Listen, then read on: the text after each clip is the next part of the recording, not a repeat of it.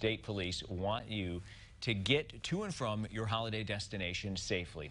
That's why they are stepping up enforcement. They'll be focusing on the so-called fatal four, driving under the influence, speeding, not wearing a seatbelt, and distracted driving. They'll also be looking for violations of Scott's Law.